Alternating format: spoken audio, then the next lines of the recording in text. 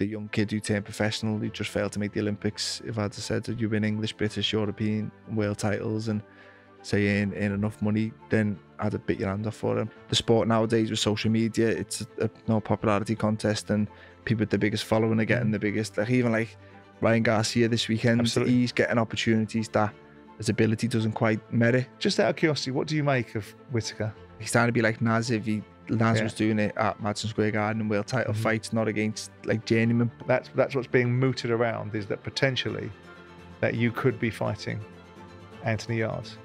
Um, This is up front with me, Simon Jordan. I believe there are a lot of vacuous, uninformed, unchallenged opinions out there. I want to get to the bottom line and cut through the nonsense. So, on this podcast with William Hill, I'm going to get people with strong views who think they can stand them up under proper scrutiny. There's a good chance I might learn something along the way, but more importantly, so might you. Joining me in today's episode, the youngest of four brothers from one of the most famous boxing families, the Smiths. He gained British and European success at super middleweight before overcoming George Groves for the WBA strap. His ascent in the sport took him face to face with Canelo Alvarez, his first career loss, before more recently falling short in his bid to become a two weight world champion against Artur Beterbiev. Callum Smith, welcome to Up Ah, thank Nice you. to Thanks see you, mate. Me. Yeah, and you. Are you a red or blue? Red. So the fact that my team just beat your team on, on Palace, Sunday, yeah. yeah, is not going to hold us in good stead or bad stead, but we'll move on yeah. from that quickly. Listen, nice to see you. you know, Ah, I'm a big you. fan of you and your brothers, so it's nice to have you here.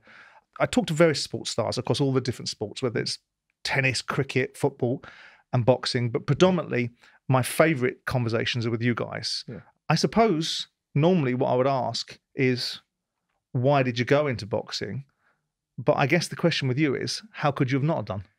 Yeah, exactly. Definitely that. I think I was a, a shy, quiet kid when I when I was younger, and I'd probably never dreamed of walking into a boxing gym saying, "I, no, I want to be a fighter." But I was always around the boxing gym. It was over the road from where I grew up in in Kirkdale. and three brothers, Liverpool. of course. Yeah, I mean, Yeah. three brothers were in there, so I was always in there. My dad done like the circuit of a daytime with the keep fitters, and it was just a familiar place for me. It was like my second home, so I was always in and around it. And between no four brothers, we were always going to Mm-hmm. box in the house against each other. So it was always just something. It was always on the TV, so it was kind of felt natural. And I think as a as a younger brother, I always just no, I I admired me, me Yeah. older brothers and wanted to be just like them. And I think if they'd have picked snooker, tennis, I'd have followed them into whatever they wanted to do. And you know, still to this day, I've always just had to follow my brothers. And I think I was quite lucky, as in when you set the bar, I want to be a world champion. Whereas every time I started boxing, my brothers were national champions, so I kind of put the bar there. I want to be like national champion like them, and then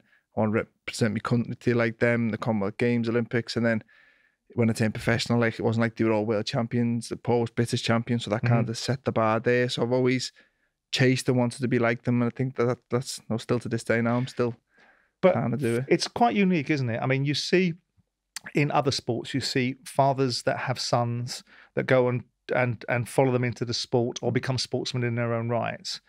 But there's four brothers. Is that the com- is that the content of your family? Have you got any sisters? Or Yeah, I've got two younger sisters. You've got two Yeah, younger sisters, right.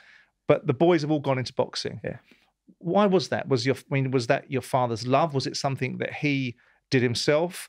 Or was it just something that arrived on the scene for your oldest brother and everyone else followed him behind? a bit about me dad. Dad, I think he had three amateur fights, but he was always a big boxing fan. So he was Right. always like by the Boxing News magazine every week, always watching like the fights on the weekend, like the Mike Tyson, Sugar Ray Mhm. Leonard. Those at the video, the Four Kings, Leonard, Duran, Hearns, Mhm. and Hagler. And but we just basically lived a stone's throw from the amateur gym, and my oldest brother Paul just went in with a few of his friends and just decided to take it up and liked it, was good at it, and stuck at it. And I think Stephen, being the typical younger brother, he's Yeah. the closest to him in age, just followed him in, and then it was just so on and so forth. So yeah, my dad was always a big boxing fan, but it wasn't. I wouldn't say he was a fighter, and that's why we kind of done. I think it was just convenient that we lived so close to the Rotunda Amateur Boxing Club, and so it was just a knock-on And the rest effect with the four of us. Yeah, insofar as the background, I, I've often spoken when I've spoken to Kel Brook, when I've spoken to Carl Froch, when I've spoken to Derek Chisora, when I've spoken to Barry McGuigan, the, the the origin of their sort of arrival in boxing comes from a background of either wanting better or coming from something quite difficult. What's the backdrop for you and, and your brothers? yeah. Like I think, like we were born and raised on a council estate, but I wouldn't say we had it no tougher than anyone else. I think you know we grew up in Liverpool, but it was more. I'd say I'd love to. I think people want like the the story that no boxing saved me, and if it wasn't for boxing, I'd be in jail or Mhm. dead. And it, that genuinely isn't the case. Like I say, I was a shy, quiet kid. I just followed my brothers and found something that that I was good at, and I've I love the competitive side of it of being the best. I love winning, and I think that's what keeps me kept me coming back over the years. It wasn't like the violent side of it. Like some fighters genuinely just love fighting mm-hmm. and they'd fight no till they're old enough, so they till they're too old. But mine more being success and setting goals, achieving it, setting a goal, achieving it, and just chasing. I've always enjoyed the chase. But it's such a unique sport, though, isn't it, Callum? Because it's the hurt business. I don't need to Yeah. tell you you do it, and so you've got to have this mindset of. Of, of, of the motivation. And you're saying to me that your motivation is simply because you enjoyed it your brothers enjoyed it and you got a sense of achievement out of it. Yeah. but again it, it's still about knowing you're going to go into something and get hurt and hurt others whilst doing it. It, it just it just it fascinates me because playing football or cricket or snooker or tennis and all these other sports are competitive yeah, and you have to be competitive in it but you don't have to be worried too much about the physical well-being of yourself and that's a unique mindset that you guys have yeah. I think it is a strange one because obviously, unfortunately, within boxing there is no fatalities, there is serious injuries, and Yeah. and as a fighter you do see it happen, and no momentarily you just think, well, you kind of reminds of the risks that you're in. But I think you just always. It's like getting on an airplane. You just think it won't be me. You, Mm. like, you always just think you'll be you'll be okay, so to speak. Whereas I don't know. You do as a fighter. I do know the risk, and I think as I've got older and I've got children, you, you are aware of it. of them Yeah. a little bit more. But I think it does take a strange mentality to to be a fighter. And like I said, as a child, uh, it's not something I'd have you know, put my hand up and volunteered to do, but it kind of just felt natural to do so. Did you feel any pressure or any push from either your father or the circumstances of Paul fighting and Stephen fighting and Liam fighting and this inherent responsibility or obligation to do something similar? Eh, no, not really. I think I just always, like I said, I idolized my three brothers growing up, and I always wanted to just be just like them, and more uh, no case of not wanting to let them down and stuff like that. Then, you know, if they're all winning titles, and Yeah. maybe so, but no, I think I always get asked the question: Did they feel the pressure of being the, the last one coming Yeah. through, and my brothers are all champions, and Absolutely. no, I'm That was gonna be my next if question, I'm not any yeah. good, yeah. But if, if, if anything, I find it. Obviously, there was pressure with it. Like I see with Paul's lad, Mm. he's fighting now. He's 17, and there's a lot of pressure on him coming through, and I do feel sorry for him at times. But I don't know. I find it beneficial. I had three older brothers to look up to, and Yeah. basically three coaches who'd been there and done it. And every level I reached, whether it was a national final, the Commonwealth Games, I felt like I'd been there before because I'd been there with my brothers. I've been Right. in the changing rooms, walking the ring with Yeah. them, fighting for world titles. So I think it kind of gave me an experience there on, on young shoulders. The minute I seen Liam win a world title, if you know my brother who have shared the room with as a kid can win a world title, then Mhm. I can definitely win one. So it was more say I'm I'm from the same family of the same upbringing. If they can do it, and Yeah. then I definitely believe I can. And no, I benefited from having three older brothers who were all Mm. professional fighters rather than feeling the pressure of being being the youngest of them. Which um which of your brothers? All your brothers are very different characters. Mhm. Um, you know, I'm a, an admire. I'm not saying it because you're here. I, I you know, I, I remember watching your brother Paul in the first fight against Arthur Abraham, and I watched him before that. Obviously, Yeah. just feeling enraged at the injustice of that decision because I Yeah. thought he won the fight.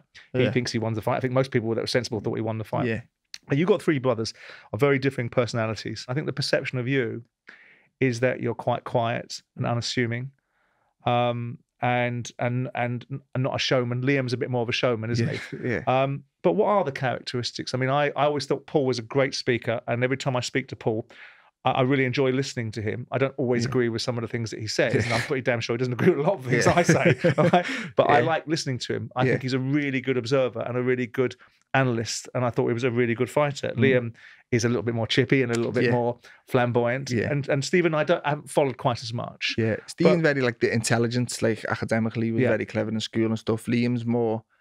Liam was always fighting as a kid and getting brought home by the police for climbing on like the school roof and stuff. Liam's always been like the rogue out of us Right. all, and I think you can see it now in his press conference and stuff. He doesn't Sure. really doesn't hold hold his tongue and he'll say exactly what he thinks Yeah. and stuff, and he won't care. Much the to Ben disagrees Shalom's horror at the last press conference. Yeah, there. exactly. I was talking about that before outside, but yeah, he's just always sa- says what he thinks and he doesn't try and Sugarcoat it. yeah, doesn't Mm. sugarcoat, it, doesn't tone his voice down, doesn't speak any more correct. He doesn't speak Mm. to you as if he's speaking to his mate in the pub at home. So it's just he always been the the straight talker, and I think because we're so close in age and because he was so outgoing and so, it's probably why I'm a, Mhm. I was as quiet as I was as a kid. And I think when you get to know me, I'm obviously I come up Michelle a little bit more, but I've always just been quiet and a man of few words. But I'd say um, I've always just been motivated by just being the best, and I think put me in a boxing ring, I can't just switch and I can become pretty aggressive and spiteful Yeah. when I'm in the ring, but the minute the bell goes, I'm back to no. I'm just very, very laid back, very quiet, and Would you like to, be a bit more? Um, I mean, we're all what we are, we? Sometimes I'd like to be a little bit quieter and keep my Yeah. peace to myself, but I don't. Um, but would you like to? Because part of this sport, and you see people that haven't achieved things, haven't won world titles, and, and run around giving big noise and Yeah. getting paid enormous amounts of money Yeah. and lots of attention. And you can probably guess in what we, sp- I'll be speaking about in that respect. Do you ever look at and think to myself, if I were a little bit more of a showman, a little bit more gregarious, a little bit more, not so much flamboyant, but shoot from the hip, that it might have given you? Because I think sometimes with you, when I think of you, I think you perhaps haven't gotten the attention Mhm. and the recognition that you deserve um, outside of the really educated circles, the Yeah. people that know what you're capable of, know what your values are. Do Yeah. you do you look at and think, I, I wish I could be just a little bit more extrovert, maybe a little bit more like Liam, because maybe I'd get a little bit more attention, and people might pay a little bit more attention, and the purses might have got a little bit bigger, a little bit quicker. Yeah, yeah, definitely. Obviously, I think I've always said it's a bit late now. Always to start doing Yeah. it now. It, People say, you know, it's an about?" act. Yeah, Yeah, do you know what I mean? yeah. But yeah, definitely. Like especially the the sport nowadays with social media, it's a, a no popularity contest, and people with the biggest following are getting the biggest. Like even like Ryan Garcia this weekend. Absolutely. he's getting opportunities that his ability doesn't quite merit, so to You not think- speak. He, not not at the minute. No, I don't think he's as good as what the He's name he, the be. name he carries, Mm. so to speak. And you get a lot of great fighters who don't get the no the the recognition because the the quiet and I say with social media now it's more about followers and TikTok and so and YouTube and stuff. And so yeah if I was a bit more out there then maybe it'd have been a bit more of a name. But in the long run it it's probably like I, I like a quiet life I like taking my kids Yeah. to school. I like I, I wouldn't like to be recognized everywhere I go so to speak. But yeah I think and again it probably in a different time in career, then it probably would have been beneficial. But I think I was very lucky with the World Boxing Super mm. Series. That was no, that paid very well. So I kind of got the money without having to Yeah. boost my profile up and say and then speak and say stuff that probably wasn't me as, as a person. Like I think Liam enjoys that side of it. He enjoys It's his character. every head to head he has. He, you know, give it three seconds, mm. he'll say something in the head to head, and you know, he just wants that bit of back and forth. Where I've always just been quiet, and like I said, I've always thought if I was to start doing it now, it, it'd be a no blatant act, and no one kind of believe it. is I mean, given given that you're a very close knit family. I mean, I see, I saw you at the fights. I've seen Stephen obviously in the corner with Mm. um, Liam Gill. I think I think Stephen gave him a huge bollocking in the first fight against Eubank, didn't he? Yeah, Sent him yeah, out and then cleaned out Eubank in the next round, didn't Yeah. he? Um, how big is loyalty for you and your family? I mean, it must be a big thing given you're so close. But how important is it to you? Yeah, it's massive. I think it's strange because it's all I've ever known. I, like I see some families and brothers who don't speak to each other and stuff, and it, it, it blows me mind. Like I think we've always been a very, very close knit family, and I think boxing's kind of helped us stay as close as we are. Is boxing a low sport, Callum? Is it No. a loyal sport? It's not, is it? no, no, no, not um. Why do you think it's not?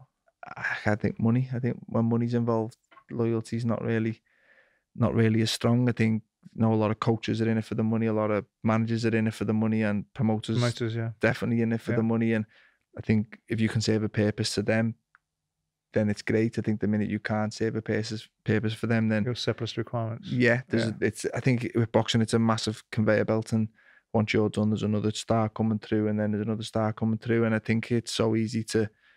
You've had your time, and I remember. I think Matthew Macklin, when I first turned pro, used to say, "You get one shot at it. You get one career. Make decisions that are best for you Mm. in your career.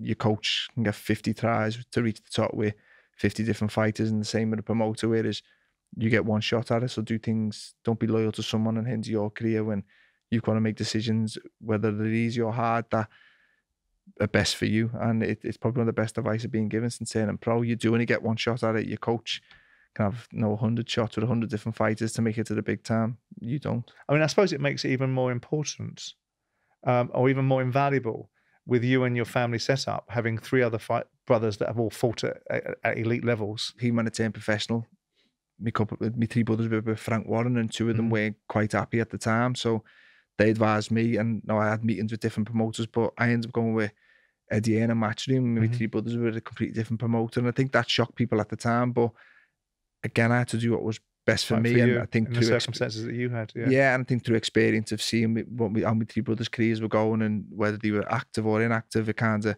helped me with my decision. So again, it was another point where having the older brothers definitely benefited me. How big a role do your brothers play in the decisions and the choices and the build, more to the point, the build up to the fights that you have?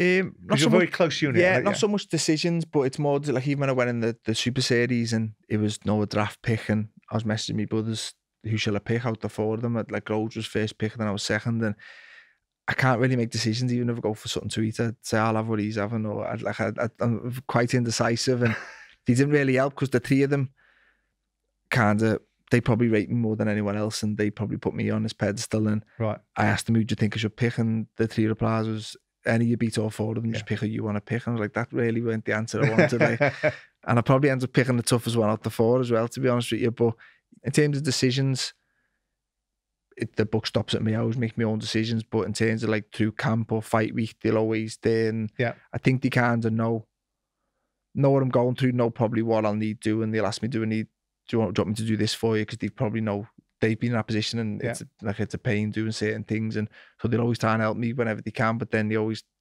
they know not to be too helpful because it's a bit patronizing. And when you're Mhm. making weight, it's a little bit, you get a little bit snappy and stuff. So they kind of know the boundaries, which I think, you know, is a talent within itself. You get, you know, your mum asking you, mum used to say, just have water. It's, it's got no calories in and I understand that it still puts weight on you when you get on the scales and stuff. So it's just, I think unless you're a fighter and you've been here, you don't probably kind of understand what, what a fight week's like. And I've had them three, you know, my whole career. and They're probably the three people as I've around me more than anyone Yeah. else. And I've said before in interviews, fighting anywhere in the world doesn't bother me. I could be the other side of the world, but if I've got them three with me, Yeah. I feel like I'm in my mum's. Is it the same with you for them? Yeah, Yeah, I feel like yeah. I'm in my mum's front living room as long as I've got them three with Right. me fight week. And it's just that that's my home. That makes me feel at home once I've got them three around me. So I've travelled as you know many times a professional now, and it's got the same in- impact as if I'm fighting in you know in the Echo- Echo Arena or the M&S Arena. How how important was your amateur career? A lot of a lot of people make a lot of pay a lot of um, attention and put a lot of stock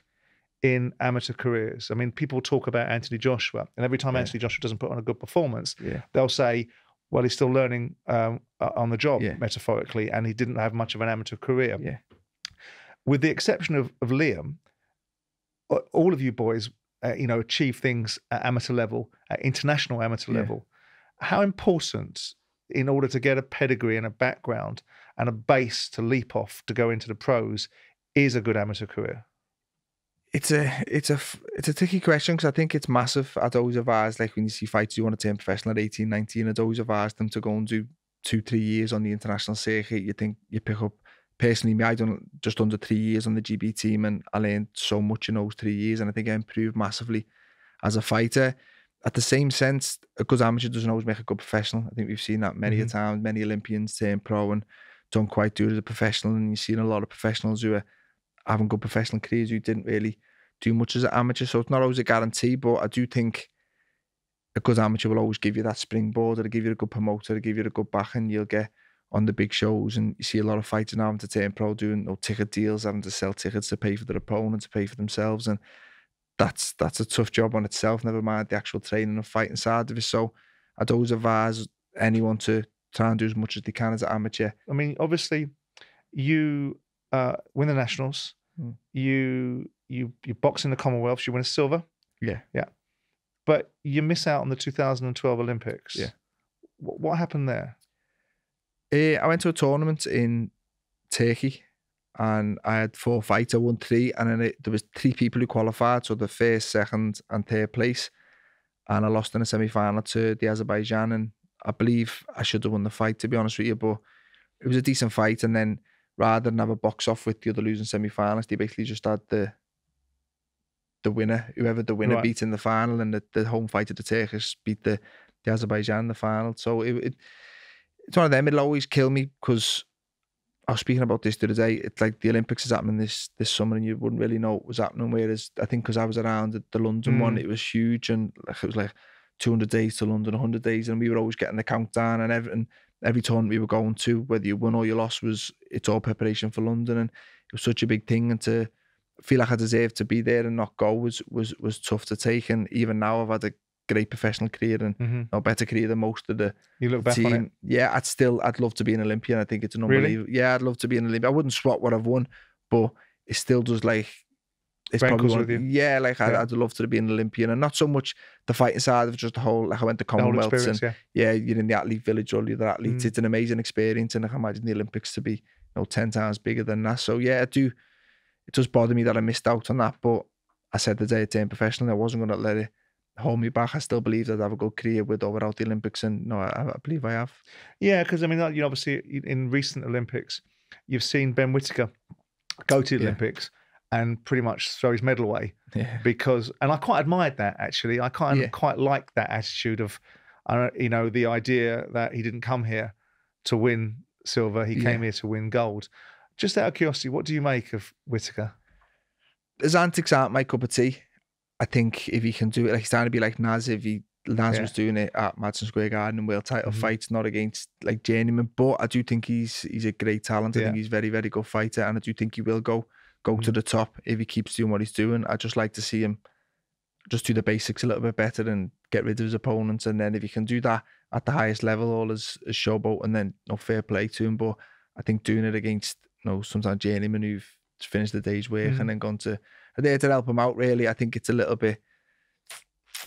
Yeah, yeah, I, mean, I like disrespectful. I a think got. I think he's got charisma. It'll Yeah, be interesting definitely. to see if he can step up and do it when he's fighting better fighters. That's what I mean. Yeah, I think Prince Naseem done it at the Yeah. highest level, and I think he was he was a one off. I was, I was always had mixed emotions about Prince Naseem. I didn't because I, I always got his fight in the back of my mind when he fought Steve Robinson Yeah. in Cardiff, Yeah. and he took the piss out of him. I Yeah. thought, and it was just a little bit too much. Yeah, that's me. I think that's when you're seeing it now with people who are there to kind of help Whittaker and not there to, to beat him, so to speak, and he's Mm. doing it to them. I think it's a little bit disrespectful, but Do you? a little bit, yeah, I do think so. But I think talent wise, he's a very, very good fighter, and I Yeah. do think he will go go to the very top. And I'd like to see him do it at the highest level. I think he should just go about his business a little bit more this time. But like I say, he's, he's, he's definitely a, a talent. But he's going to sell himself, isn't he? I mean, he's, Yeah, he's exactly. Gonna, I think he's, gonna well known himself. now compared to the Yeah, other the other. Olympians because of it and because of like I say he's showboating, but he's putting in good performances with it as well. So no, who am I to say that? When you're saying mm-hmm. before, I No, I mean, be a bit listen, you're a light heavyweight. charisma. Yeah, he's a so- heavyweight. Yeah, no, you I do think he's a talent. I think he's a very good Yeah. fighter. You, you, you, so after the Olympics and the, and the disappointment of the Olympics, you then turn pro. Yeah. Right. And you sign with Eddie. Mhm. Your your career follows the same sort of path as your brothers, and you get to a point where 25 or 24 fights, 25 fights, you're Yeah. unbeaten. You've got the British Championship. You're then, from my understanding, there's an opportunity that Eddie wants you to fight James DeGale. Yeah. Tell me about that because that's the fight that didn't happen. And I get the impression it might have been something that disappointed your promoter No, I think it was what disappointed me promoter because you chose to go into the um, uh, the uh, Super Series, Series. yeah. yeah. well, I was mandatory for the WBC world title, and they kept like messing me about for months. And then Eddie said, "Do you want to fight again?" And I said, "Yeah." And then the the World Box Super Series wanted me to Yeah. go in the tournament, and I remember I drove down to, to London. I went to Eddie's office and I sat and had a meeting, and they agreed the split for the De Gale fight and stuff. And he said, "We'll have a contact with you within 48 hours." And then I drove from that office to another place, had a meeting with the Sauerlands, and to be honest with you, it sounded too good to be true. And they were talking all like who was going to be in the tournament and the, the money Yeah. that was in it. And to be honest with you, my mum was basically just, I can't wait to get home and tell everyone I'm fighting De Gale and in the summer and stuff. And that was no fight that I wanted. I believe like Jay's, De Gale's a great fighter. I grew up watching him. He was knowing my brother's team as an amateur and I he was a great fighter, but I feel he was there for the taking at the time. And Right. I think he lost to Caleb Truax the next fight. He It was a fight that he should have Yeah. should have been comfortable. But and then I, I goes home and then I'm still waiting for Eddie. And I don't know whether the IBF were being a bit funny over De Gale having another voluntary. He had a mandatory and then he just had a voluntary and they never ever sent me the contract. And then the BBC sent me a contract out for to fight Dirrell in LA in September. I said, okay, so I signed it. And then a week later, they said it's going to be a different date in Detroit now. And I felt, so I just, I said to the tournament, look, I'll go in it. I'll, I'll give up my WBC world title shot and I'll go in the tournament. I, I think I'd been waiting like nine months or something to get that fight sorted. So it was more, like I'd loved the De Gale fight and that'd probably been that was my first choice. And then when that didn't work, then I wasn't. I just wanted to be a world Yeah. champion, and they were two world title fights. And then, yeah. And then the minute Groves agreed to go in the tournament, I knew there was a belt Yeah. in it for me, so it made a little bit more sense. Whereas I wouldn't have went in the tournament if there wasn't a world title. Belt at the end of it, yeah. Yeah. But going back a step, because I've stepped forward and gone past the fight that you had with Rocky Fielding Mm. and to win the British title. And obviously your trainer's Joe Gallagher. Yeah. And Joe worked with your brothers as well. Mm. And the the the complete destruction Yeah. of Rocky Fielding, who came in with a pretty good reputation, Yeah, went on to win a world title literally six fights after you destroyed him. yeah, Um, Joe Gallagher tells me a story about the ma- the manner in which they approached or you approached that fight, Mm. which was Rocky Fielding being very highly motivated and very highly charged, Mm. and you and Joe deciding that you're going to stand stay in the dressing room Yeah. for 15 minutes yeah, and leave him in the ring, yeah.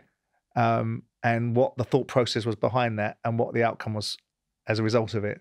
Tell me about that. Yeah, I think it's just Joe. Joe loves to just take authority, and he was like, "We'll go out when we're ready." And then I think they come in and say like three minutes to go and stuff, and then they come in and start to knock on the door, and Joe locked the door. I'm just saying we'll go out when we're ready and stuff. And I think he just done it to wind them up. But then we go out, and we actually get to buy. Rocky's done his ring walk, and I'm about to do me, and then I needed the toilet, I needed a wee. So then where they like a platform you walk down, I had to go underneath it, do a piss, and then come back out. So I think that was added to the delay a little bit. But yeah, it was a, it was a good it was an enjoyable fight for me. It was a local derby. A lot of people were speaking about it. and- first round. yeah, Yeah. yeah, which was quite quite satisfying. Like I say, Yeah. it was the first time I was seeing people in my own city saying, "Oh, it's a good fight. I think it might be too soon." I think Rocky, and it's the first time I'm seeing people saying I, I might lose in my career, and kind of got me back up a little bit because it was always a fight I believed I'd win, and I never once t- seen it as like a tough fight for me. But it got a lot of interest. It sold the Arena out, the Arena out and stuff. So it was definitely one of my most satisfying wins, although probably not one of my best. I don't know, mate. Knocking someone Yeah. out in the first round do the job, won't it? Yeah, yeah, definitely. Say Yeah. it was a, it was a good fight for me and to win the British title and become. I'd wanted to win that for so long, and I probably got to a point where I was ready to fight for it. But Paul had it, Yeah. my brother, so I had to wait for him to vacate. So I kind of carried on with my career and went the like the WBC route. And then the minute he vacated, me and Rocky Right. got put in for it. So it was to to complete the set. They all had it at the same time, and to add the fourth one too. It was was a little bit of history, which I think won't be beaten for a, a good while. Um, fighting George Groves. Mm. Froch sits here telling me how much he hated George Groves and how Yeah. much he, you know, he wanted to conceptualize how he could get his fists in a glove and how he could imagine putting it through George's face and God knows whatever else he wanted to do to him. Yeah. Did, did does the fighters that you fought and building up to that point, has anyone ever evoked that emotion in you? Did you have that sort of feeling No, towards anything? Was George No. differently with you and behaved Um, in a certain way? No, and I think I don't know. You probably have to ask George this, but I think it probably annoyed him a little bit that he probably couldn't get a rise from me. I think he was always at his best. There's a Gale Yeah, fight where a there was a bit of back and Yeah, forth, and yeah. the Froch fight, and he he can't. And then the Eubank fight is three probably best performances within fights where he could have a bit of mind games before it, and I think he just got no reaction from me. I've never. I've never been as emotionally involved in a fight against an opponent. It was always, and even with George, it wasn't about beating George Groves. It was about taking his belt off him, and it was more a case of becoming a world champion in that tournament. I'd have preferred it to it being Groves in the final because he was the champion that, Mhm. that entered with the belt. But it was always just about not becoming a world champion. I've wanted that since I was you know, seven, eight years of age. And it's just a, a, a career's work. It's not just a training camp for that fight. It's everything you put into to become become a world champion. And every title I'd won previously, I probably never really sat back and enjoyed. So I was never satisfied. I always knew where I wanted to be and what I wanted out of the sport. Can I ask you how um, um, achievements change you and build your mindset? You you know you beat Rocky Fielding to get the British. You win the English Mm. after your eighth fight, right? So each one of those are milestones that build something in you. But when you become a world champion, it's something even more significant, isn't it? But what changed in you? Did, I mean, you you already had the belief, but did you suddenly become, I'm a world champion? yeah, it's like the two part, like one part felt like the minute the ref waved it off, it was more. I think because so many people had said I was going to be a world champion from, I say, very early on in my career, two, three fights in, it was like I was a shoe in for the world title, and it kind of took away any praise when I won the English title. No one really cared. I was going to be a world champion. I won the British title. But you would have cared, though, wouldn't you? Yeah, but I think if I could give myself advice going back, I'd probably sit back and enjoy the milestones on the way there because Right. I was never satisfied. I always wanted to be a world champion. So when I was British champion, yeah, okay, great, but my three brothers have had one themselves. So even when I took the belt Right. to see people, oh yeah, it's the Seen it same as, before. yeah, it's Yeah. the same as them. So Right. it, it kind of wasn't really a big deal, and it kind of felt like relief. I'd finally done it. I've been chasing something for so long, and it was more everyone else had said I was going Yeah. to do it as well. Whereas I think if someone wins a world title, that probably wasn't supposed to. Mhm. It's more like big deal. Whereas I kind of felt like I just proved a lot of people right, and it was probably a bit. I remember like going into the fight, I thought if I lose this, like I've waited this long and gone through this to get one shot, I might not get another world Mm. title shot, and little doubts start creeping in. But when I won, it felt like a bit of relief. But when I was a But did kid, you know it's a gear change in yourself? I mean, I've I've spoken to other guys that have won world titles, and they they know it's a gear change. They know there's something different about them. yeah, Something's different about how people react to them, and there's almost a different set of belief that comes into them. I'm you know not I'm not saying they all get big Billy bollock, you know Billy Big bollocks. They get a belief system. What was that the same for you? Did you go? yeah, "Well, it's I'm the world same. champion It's now. the exact same when like you win your first national title as an amateur. You all of a sudden I'm the best in the country, and it gives you that little bit of a whoever you're fighting, I can beat him. I've beat out like I've, I've become a national champion, and the same when you're a world champion. Like I walked the ring, first world title defense at Madison Square Garden, and I walked the ring as a world champion, and it kind of just gives you that little bit of order about like I'm not gonna be a world champion. I am a world champion, the best in the world, and it, it is a good thing to have. But it, it kind of like when I was a kid and I dreamed, oh, I want to be a world champion, and you'd always think that's the the mountain, and Mhm. think, oh, the winner of win a world title, that's it, and my life's complete. And it was great winning it, but I kind of realized it just set. You always want more. I think Yeah. as a fighter, as a uh, no a competitor, as a athlete, you just always always want more, never satisfied, and I just set loads more goals and realized that, Be that ambitious. was, yeah that wasn't the top of the mountain which I always believed it would have been You have two more fights after that. Um, one of them I think you were particularly impressive in, which, which was on the undercard of the Ruiz fight, wasn't it? yeah yeah And those two fights take you towards Canelo Alvarez. Yeah. Now, the, that particular fight obviously is going to be a significant fight. It's going to be a very economically rewarding fight. Mm. Yeah.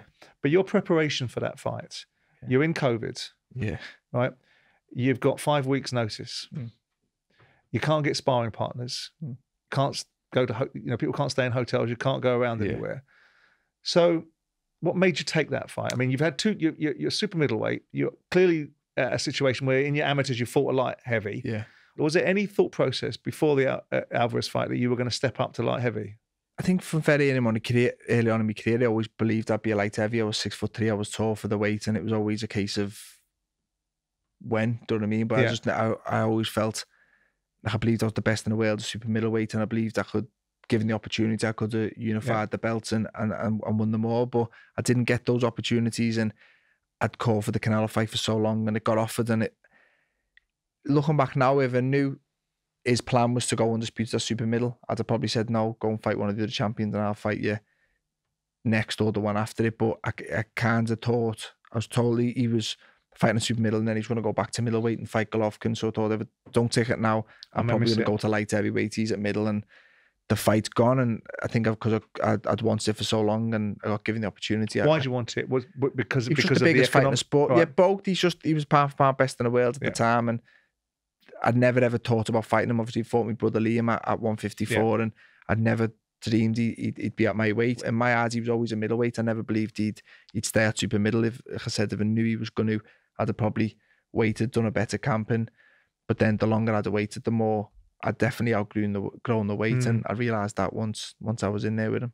Are you conscious of the of the of the circumstances you're finding? This is not the best preparation because I think Joe talked about a, a quote where it was because of the nature of the preparation, because of the lack of opportunity you had to spar and to be really prepared for the person that you were fighting. Mm.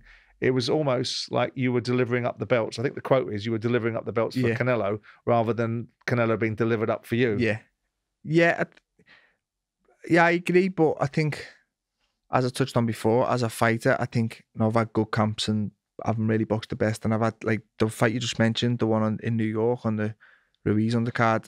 I had a, a terrible camp for that. Like I didn't really, I, I hit my hand one of my first few spars and didn't spar, and then because it was Madison Square Garden, I thought I'm not missing this opportunity, and I put in one of my career best performances. So I think you just always got that belief that good preparation, bad preparation. I get it right on the night. I always have. I Yeah. was unbeaten, so I always believed I get it right, regardless if it was Canelo Alvarez or anyone else. I just believe put them little gloves on, I switch on, and I no, I, I and I, I never believed.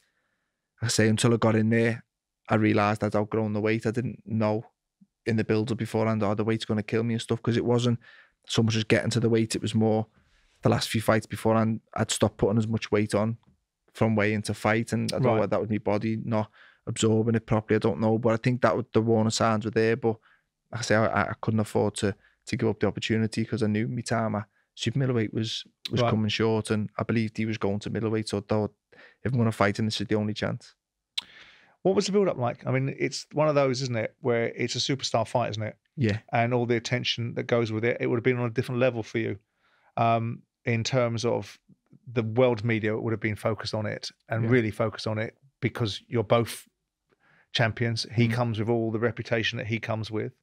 You come with a very significant reputation Mm. and also a world title holder. What was that experience like, it was or was it diminished by COVID? It was a bit of both, yeah. It was a bit of both. Like I've seen me, my brother fight him, and that that fight he was huge, and you know, all the fans there. And I think because he fights on like the Mexican holidays, it was all the Mexicans there, and that was probably what I'd envisioned me fighting and being like. And then I think with COVID, there was like barely any fans there. All my media stuff was done through Zoom.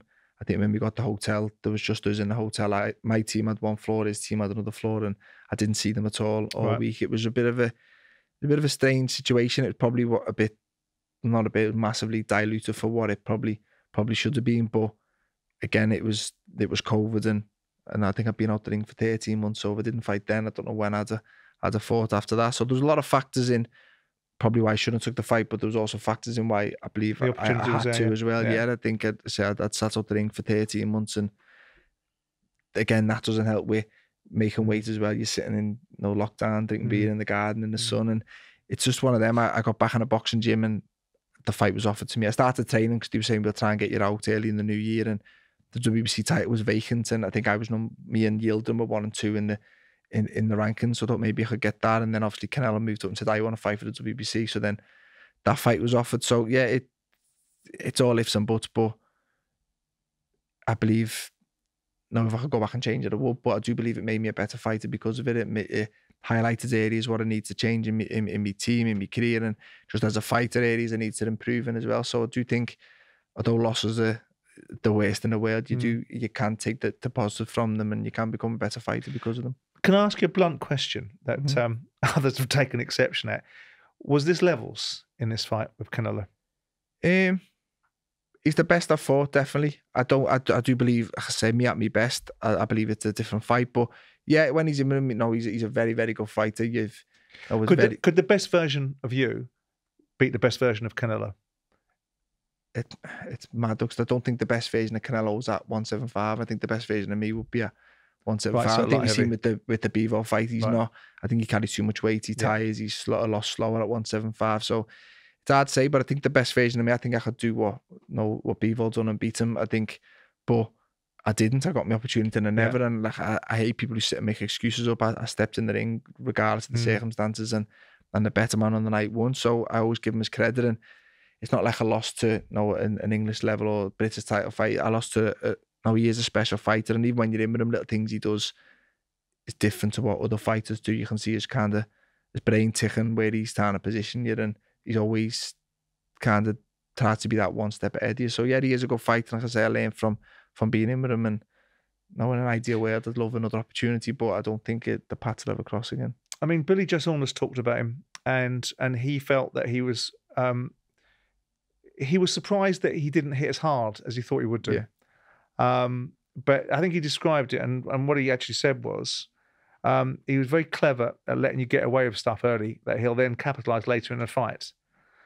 Did you have that sort of experience with him? Yeah, I agree. Like where even now, people say, "Oh, he boxing. Oh, what was his power like?" And I think it was it's okay. Like it wasn't like I probably faced bigger It wasn't punches. yeah. it wasn't like it, his power's not. For me, his defense was really, really good. He was so hard to hit clean with anything meaningful. I thought I thought like jabs were pretty easy to hit him with.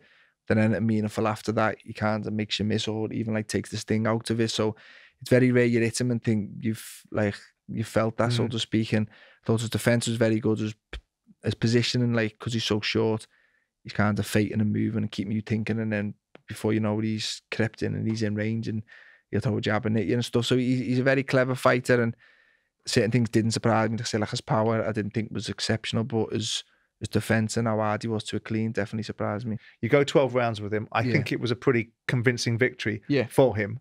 But for you during this fight, what is happening from from the first round to the way the fight progresses? What's going on in your mindset? Um, I think I just, to be honest, with you, I think I probably just sulked most of it. I think I knew You did what?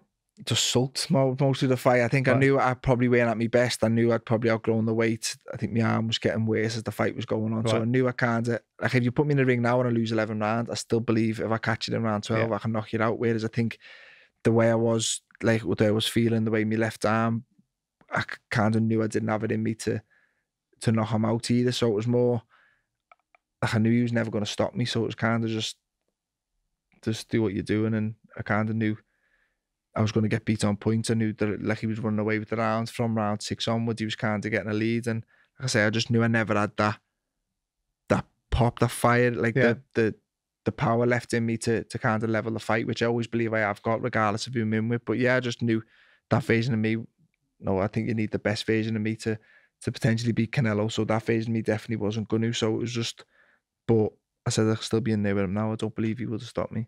Your relationship with Joe Gallagher, Joe Gallagher at this point, Yeah. you go separate ways. Mm. You've obviously he's been very instrumental in your career. He's been there as he was with your brothers. Mm. Um, what changed? What made you change them? a lot of things to be honest with you. I think it was a lot before that fight. Like uh, he, he was my manager as well, and I left him as a manager early, like a couple of years before. And it was more just, I don't know, just different reasons. The relationship wasn't what it was on a personal level. I think that In bleeds into just as a person. I, I, I, don't. I believe he's. I think he, he was more concerned about himself, his own record, his own how many world titles he can win, his own. I think rather than I think he portrays it's about the fighters, but it. I think it- Really? yeah, I think it's Yeah. about him, and I think say the relationship just didn't just started dwindling a little bit before the Canelo fight, and I think I think a bit of both. It wasn't one of them where I lost and I spat me dummy out and blame retain. Like I took that loss, that Mm. was all me, and it, but I think it just highlighted areas what I needed to to do, and no change in trainer was definitely one of them. But yeah, it was just more the relationship wasn't what it was, and I think a personal relationship then bleeds into the gym, and the, the gym relationship wasn't the same, and I think it's the same for for me three brothers as well. Right. Okay. What did it do to you, Callum, to lose? And I mean, the psychological challenges that would have brought for you. I mean, you're undefeated. You now lose, and you lose to someone that has great recognition, and Yeah. people would have said that you know you've lost to a great fighter. Yeah. But that doesn't matter, does it? Yeah, that that's what, I'm gonna say. What does it do for? What does it do everyone to you? "Oh, but you lost to." I think I don't care. Like I think what we touched on before. I think you bit throughout the years you build this invincibility and you believe I can beat anyone in the world, and as long as I get it right, I will. And then I think when you lose, you kind of burst that bubble. And Yeah.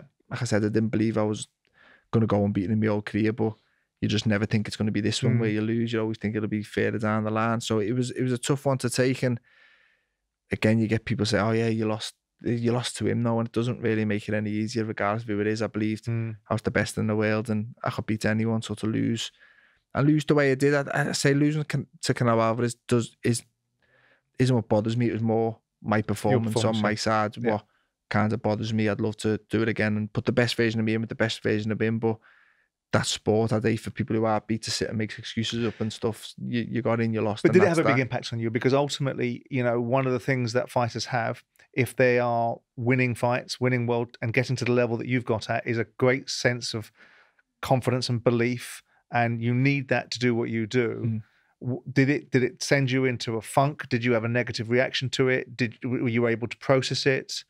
Was it debilitating, or was it just I'm a grown up, something's happened, I don't like it, I didn't Yeah. want it, but now I'm going to come back even stronger. Yeah, I think that's what I kind of had to do. I said I've got to, I had to take full accountability, take it on the chin, and I think that's the only way you can improve from it. If I just said, "Oh, he only beat me because uh, the weight killed me," he only beat me because I, I only got five weeks' notice, then you kind of not accepting the fact that you just lost to someone who, Yeah. who was who was better than you. So it dents your confidence definitely because you know you can be beat. You know, Yeah. there's people out there and you know you don't perform, you can lose and you know what it feels like to lose. So you never really want that that feeling again. But I think what probably played benefit in me is I moved up a weight division right after. So Yeah. it's kind of like a So clean slate. you, yeah, So right. like I could still say, no, I'm going to be the best in the world. Whereas I think about I've had to stay at super middle and rebuild, and then Canelo had all the belts. It was like I'm always going to be second fiddle Mm-hmm. to him. So I think the fact that I moved up was like a clean slate, new trainer, new weight division.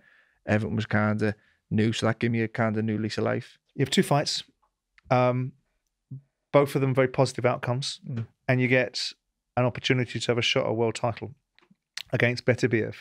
I mean, for you, it's you know you're one of those that's an elite fighter, but you don't make it easier for yourself because you've landed in Yeah. the super middleweights with Canelo Alvarez. At that time, you've now landed in the light heavies with with Beterbiev. Mm. What was your approach to that fight? You mean you, I mean I went to see him. I saw Anthony Yarde's fight Yeah. against him, and I thought that Anthony Yard was very effective for a period of Mm. time, and then Beterbiev just bit down on the gum shield Yeah. and just went on to a different level. Mm. Um, and kind of, with due respect to Anthony, put him in his place. Yeah. a little bit. Again, I, I- don't want to dwell on your losses because you had a remarkable career, and I'm a big Yeah. admirer of yours. But this was a very different experience for you. This Yeah. I, I I actually picked you to win this fight. Yeah. I had a feeling that you would have the ability to work him over. Um, and, you know, with your trademark left, Yeah. left hook and work him to the Yeah. body, and you'd start to get him on, on the move. Yeah. But this was a very hard fight for you, and it's the first time you've been stopped. Yeah. Uh, Walk me through that experience because I what what I- what I saw was I thought watching you, and excuse my ignorance, but Mm. understand my words. I thought that you were surprised at the power. Um, I thought you were. Um, uh, well, I think you, I, I thought you looked a bit shocked at times by what you were facing. So that's me looking at it from Yeah. from my eyes, and I've spoken to people like Spencer Oliver, and they sort of, in a more educated way, came to that conclusion. But I'm more interested in what your experience was. Yeah, no, like I say, up until the shot that put me down, the first one, I didn't really feel his power as much. It was more, I think, with the ring being so small, I kind of like just couldn't keep him off me. He was felt like he was always in Yeah. front of me, and then even when he got me on the ropes, I felt like he trying to take me head off, and he didn't. He kept just throwing loads of like, not not in shots because obviously they got power in but like sixty percent, and it was kind of hard to get out the way of them. And I remember thinking he'll finish now and I can retain. And it, I think tactically, I don't know whether it was a tactic on his side, but it was different to what I expected. Like I expected him to throw big bombs. And came out fast, didn't he? yeah, he come Yeah, out quick. yeah. Like say, as soon as the bell went, and I think I say, I feel like I had nowhere to go in the ring, and tactically, I wasn't really supposed to stand and have a tear it with him. But I think, given the circumstances, the ring and stuff, I kind of had no choice to stand in the pocket with him, which is isn't the best idea when you're fighting Mm. someone like Beterbiev. But say that's the the card you were dealt, and again, it's more. I don't. I don't mind losing to Beterbiev. He's, a, he's, a, he's another good fighter, but it's more say my performance Yeah. wasn't what it should have been, which obviously bothers me. But again, you know, he's a, he's a very good fighter.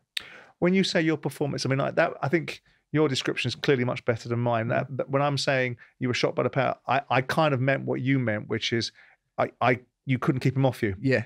And what, why was that? I mean, what was it? I mean, what, what was it about what he was doing and and your reaction to it that determined that outcome? Yeah, a bit of both. I think, like I say, I've, I've been out the ring a long time, so I think I was never going to start quick. I kind of knew that. I think when we got there, it was the day of the fight. I seen a tweet saying I think the ring was 18 by 18 foot or something, so I knew what their tactics were going to Right. be to put it right on me. And Didn't you have any choice in the ring size? no, I think it's their No. promotion in it. No, it's whoever's the promoter. So they, um, Eddie lost the purse bid, so the top rank show, so they put the, the ring. So the ring was small, so I kind of knew what the plan was. to- I suppose, aren't you? So, Yeah. yeah, yeah.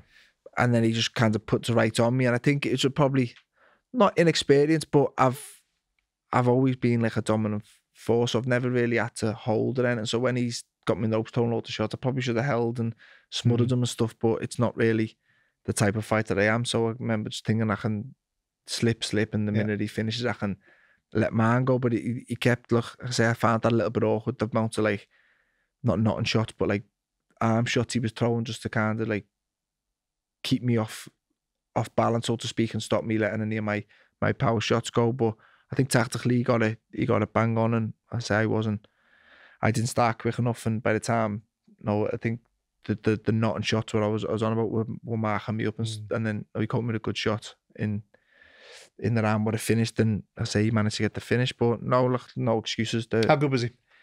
he's good ability wise. He's I say I don't think he's he's as good as Canelo. He's just effective. He's good at what he does. He's Mhm. got good no, no good straight punches and his feet are very underrated. He closes the gap a lot quicker than what he looks quite robotic. But uh, his feet are good. He's from a good Russian background. He's a he's a very good international amateur and I think he was amateur world champion as well. So I kind of expected it. But yeah, I think his feet are good. He's good at say positioning you where he wants you. And no, I think he, he's a three belt world champion for a reason. Who wins the fight between him and? I mean, we saw Bivol. A lot of when Craig Richards fought Bivol, everyone thought, "Hmm, not that what- much, is it?" that's what if Craig, had, if well, Craig had it? been a little bit, Yeah. more, a little bit believed himself a little bit more, he might have been able to win that Yeah. fight. And then we've seen Bivol kick on a bit, haven't we? Yeah, I And think he plateaued out a bit. I think his, his level of opposition dropped a bit. That's no disrespect, but I think when he But now he the, looks the different- Canelo one, he yeah. looked really good. Compared to Yeah. Ramirez, he looked really good as well. Yeah. So I think you, the better the opponent. So I think you probably see the best version of him. I just don't know. I just don't know if he's hard enough to keep better Beterbiev off for the Right. full twelve. I think he'll be on him for the, for the twelve rounds, and like I say he's physically strong and. Bivol's probably the more skillful, got the better. No, he's very Mm. fluent. He's got good, good boxing ability, but he just doesn't punch as hard. And I don't know whether at some point Beterbiev won't mind taking one or two to get to Yeah. him, and, and I'll just put it on him. But it's a great fight as a boxing fan. I'm looking forward to it. I think it's Yeah, it's, it's, it's a fight that probably should have happened. I think they've both Yeah. been world champion over five, six years or something, and it took a while for it to happen. Saudi money now, innit? yeah, do you know what I mean? I think it took the Saudi money to, to get it to happen, but no, as a, as a boxing fan, it, it's a fight that I'm definitely looking forward to. So that leads me into the next question. Mm. Where are you in the great scheme of things? You don't you don't have anything in the diary. No. What's happening with you? Um, not at the moment. I don't know. I- I'm say I spend some time with my family and get married in, in a couple of months, and Yeah. then I don't know. I think a lot depends on what happens with the the undisputed fight and what happens with the belts after Well, that. gonna get, they're going to get scattered, aren't they? yeah, hopefully Yeah. that's the plan. Yes, I, say I just want to be a world champion. Yeah. That- that's always that's always motivated me. I've never been motivated by no financial gains, and I've always been motivated by being the best and being able to call myself a, a two eight world champion is a goal. So if if one man's going to keep the belts and do what Canelo's doing at one six eight Mhm. and kind of holding them ransom, then I don't know where the motivation will come from then. But if no the belts scatter up and then, no there's there's four up for grabs, then I definitely believe I'm good enough to win one of them. So does that mean that is retirement on the table for you? Um, potentially, but it's not that. No, I believe I'm finished. I believe I'm probably better now. No, I don't think you are either, Yeah, I'm- I'm it's interested to see more just motivational. Like I think in boxing, you've got to have when it gets tough, you've got to have that reason why, and a lot of people's is financial, which. But you no, can have a bit of thankfully, I both, though, don't really have it. Yeah, and then it's oh, I want to be a world champion, and I've been a world champion, so I've kind of ticked those two boxes. But my reason why was always to be a world champion Yeah. again. I want to be another world champion, and if that's kind of tied up for the time being, then I say I don't really know where where the motivation will come from. Would you fight Yarde? Yeah, say definitely. I think if for a world title, he's got good rankings. Buatsi's got good Mm. Yeah. rankings, so I think if the belts do come up, then One of we are going to going get to a be shot. the names Yeah. that that are, are being that's what's being linked, isn't it? That's that's what's being mooted around is that potentially that you could be fighting Anthony Yards. potentially. Yeah, Yeah. say if you can get a world title for it, then then why not? It's a it's a good fight. I think in Buatsi, you you got Richards fighting on the the five v five now. There's a lot of good good domestic heavyweights, but light heavyweights. Sorry, but I think the hopefully the belts can scatter about Mm. and there's a Well, little they bit will, more, they? little They bit more meaning they're gonna, beside aren't the they? There's-. There's Yeah, no two ways about it. yeah, fingers crossed. So that's so that- that's from that point of view, we can take this as a given. Yeah. You're not retiring anytime soon, and and and hopefully yeah. the next opportunity you get might be a world title shot. Yeah, fingers crossed. Or even Yeah. if you have to win a fight to then in, in Yeah, the to- shop, to as long as I know into it, it's yeah. there, so to speak, rather than you're just fighting for the sake of waiting for for a, for a, shot at a champion when there's only one champion and there's a massive queue, so to speak. That's a little bit disheartening. But if the belts are vacant, then I definitely believe I should be there or thereabouts for for one of the vacant ones. Is boxing a difficult sport to retire from? It seems Um, like it is. Yeah, I think it is for like I said, I know personally from I'm speaking to my brothers. I think you kind of, I think it depends. There's a lot of different circumstances. I think one's probably retired having not fully achieved what they set out to do, and I think Yeah. that must be hard having to give up on a Mm. dream that you've had for so long. Like if you don't win your world title, or some leave it say no money, and you've give 20 years of their life to something to be left with nothing at the end of it, and they probably question whether it was all worth it. And there's just different different aspects to what people probably struggle with. People probably struggle with like losing their identity. One Yeah. minute they're the man. I think Ricky Hatton struggled with that. One minute he had thousands of people. Yeah. Yeah, and all of a sudden you you're not that person Yeah. anymore. And I think I think that's why you see a lot of fighters come back. I think they just missed the limelight, and I think you're seeing a bit Mayweather now. He doesn't need the money. I think he just craves the the, attention. craves the attention, the limelight. I think a lot of fighters struggle with that as well. I think. I say I, I do think they Because you said it, haven't you? I want to be a two weight world champion. Yeah. I would probably find it hard walking away knowing I never quite fulfilled what I set out to do. yeah, I But think I guess once if you I've, go and get your world title, yeah, then Yeah, I, then you I, might be I, I can, fulfilled. I'd be like Yeah. content and I can retire now and achieve what I want. I think when any I part of you that worries about it? About what you'll do next? Um, not really, no, because I, th- like I say I'm not the most outgoing. I don't crave the attention. I think I, I've got two kids at home and I kind of quite a laid back family man. So I think I kind of just slot into the life I can't kind of live now. I, I do well to avoid the limelight, but I don't know. I think having that purpose and having that goal and having something to chase every day, not having that will will probably affect you. And I think you probably need something to do to keep you busy and something else to to, to put your mind to and put your energy to. Because I say it's all I've ever known. I've all I've ever known Mhm. is boxing, and I've always set goals and chased them. And get up in the morning, you've got a purpose to to get out of bed and go and go and become a better fighter and something to do. And I think if one minute, But you feel comfortable you'll be able to make that gear change? Do you think feel comfortable? hopefully, yeah, yeah, hope, yeah, I do. I think. uh, Providing I'm satisfied with what I've done, I always wonder, could I have done Mm. this or could I have done that? And I think if I when I to turn professional, when Eddie Vida said, "Look, you can win English, British, European, World, Ring Magazine, and You'd retire," I'd have took it. But I think now I've committed to being a two eight world champion. Yeah. I feel like I've got to, I've got Good to for you. achieve it before I walk Good away for with you. it. As if I'd never moved up, if I'd just retired after Canelo, I'd have probably been happy with what Mm. I'd done. But the fact that I've moved up and committed to a goal, then I feel like I've got to finish it. Um, I want to talk to you about events outside of the ring as well. You know, I spoke to Paul, your brother, the other day um, about um, a fighters union that he wants to start. Mhm. And I know there's some momentum behind it. And I know that this is something that once upon a time Barry McGuigan um, tried to do something similar. Mm. Um, are you are you involved in this? Do you subscribe to this view? No, I agree with it, but I haven't Yeah. been involved. I think Paul Stephen have been a little bit more involved in trying to get it up and running and stuff. What are they trying to achieve? I don't know. I think it's just it's a little bit harder in boxing because I think in football with the FA there's just one, basically one organisation, one umbrella, and whereas I think with boxing there's different promoters, different sanctioning bodies, different the board controls and stuff. So it's a little bit harder, but I think it's just more. You see far too many fighters finish boxing with absolutely nothing. Who are really good fighters who had a decent career, and it's just it's it's sad. It's it's a very unforgiving sport. Once your time in the limelight's done, you kind of just get forgotten about. Whereas I think in football, they say you're a member of the, the FA for, for life, so Mm. to speak. And Or the PFA, yeah. yeah, the PFA, sorry, yeah. And now if you want to go and like do your badges and stuff, you can get stuff paid for. Like the, there's a lot of help for footballers after football, but there's Yeah. nothing for boxers, and I think there probably should be. But I think a lot of the problem is also How it's going to be funded. yeah, but I think that it's not even when boxers are finished. I think it's people who are taking money out of purses now, like sanctioning fees and stuff like Yeah. that. Like I think where does that money go, so to speak? Like for my last fight, I fought for three belts. I paid three percent of my purse for each belt, so nine percent's coming out right Mm-hmm. Yeah. away. For I didn't even win the belt, so not even like I get a belt to show for it. So it's like you just don't know where the money's going. I think there's so many people dipping into fighters' purses, and then they become shocked and surprised at the end of the career when they've got nothing left. It'd be interesting to see uh, how Paul and Stephen will get the union funded because Mm. unless they're going to get money from the broadcast deals, then it's going to have to come from the fighters. Yeah, And and therein becomes the problem. I think Yeah. Barry had that problem, didn't he? yeah, Um, when he wanted to set it up, and I think he was very very much involved in McGuigan in changing some of the medical support Yeah. and the the availability of medical resource yeah. around fights so that people were tended to much quicker if there was any challenges. How do you think that people will look back on your career?